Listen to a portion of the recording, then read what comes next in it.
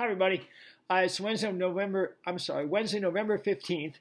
Uh, it's great to be with you today. I hope you had a great Tuesday yesterday. Uh, we talked uh, yesterday about the, uh, the, the the middle words, right? Uh, and and how um, the, the middle words that are great, they can distract us. They're still great. They're wonderful blessings. We should embrace them and enjoy them, but but keep in the right perspective. and then those middle words that are hard words.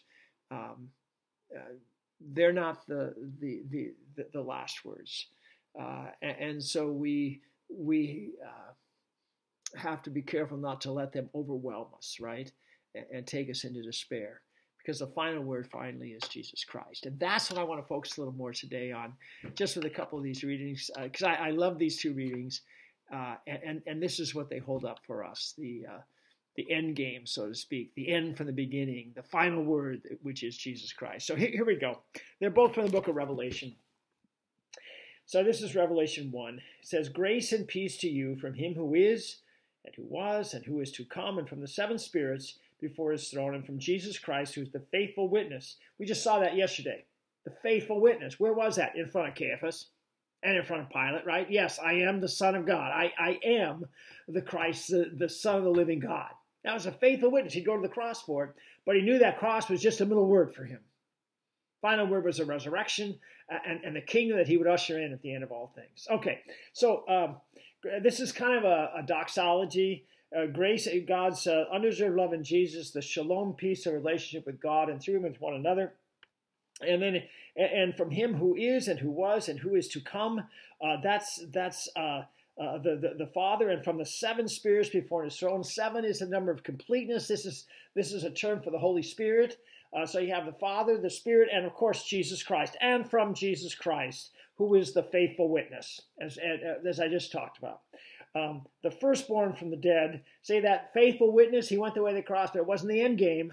wasn't the final word. No, no, no. The firstborn from the, uh, the from the dead. Right? He rose again on Easter morning, uh, and the ruler of the kings of the earth. He rules all things for the good of his people, for us, and he'll rule into eternity. So then it says, To him who loves us and has freed us from our sins by his blood. And so this is really important for us in the middle words, to in our middle words, remember where does our life come from? Right here in Jesus.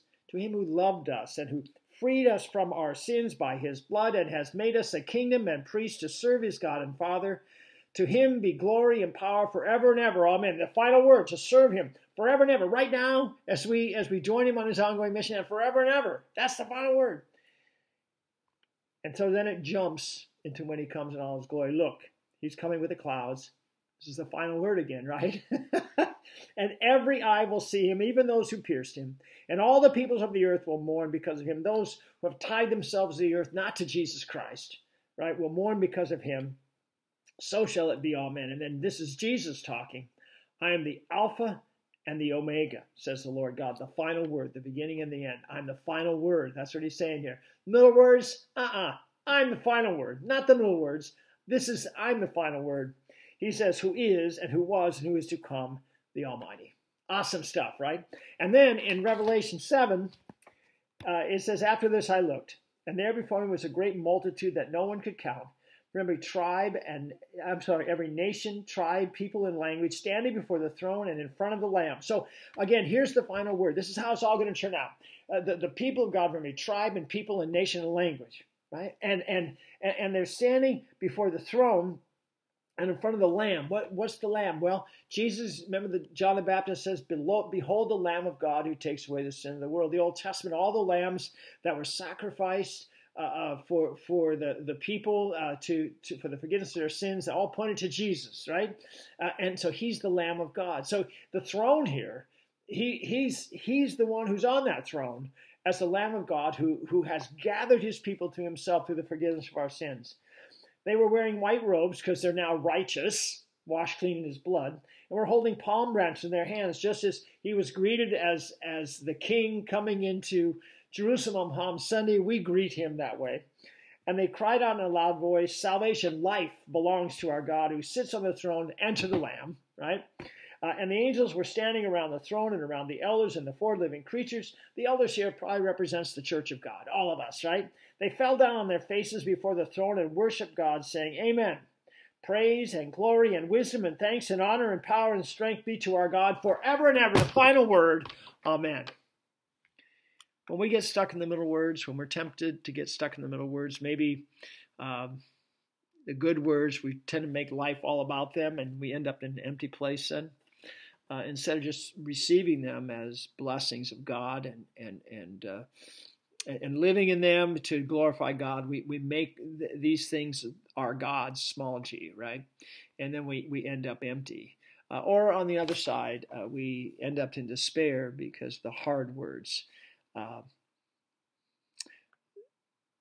my prayer is that the Spirit of God will always direct you to the final word, Jesus Christ, and what it means for you, and then empower you to live in that reality.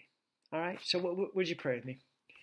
Uh, dearest Jesus, uh, we thank you that you're the final word, and for all this mean all that that means, Lord. Um, you are the Alpha and the Omega, the final word. You are the one through whose blood we are washed clean. You are the one whose kingdom lasts in eternity. We thank you, Lord, that you brought us into the kingdom through faith in you and we pray, Lord, that every day you might keep our eyes on that final word and, and so empower us and uh, to live in your kingdom and, and on your ongoing mission until finally you gather us together to yourself. We pray in your name. Amen. Okay, we'll see you tomorrow yet. May God be with you. Bye bye.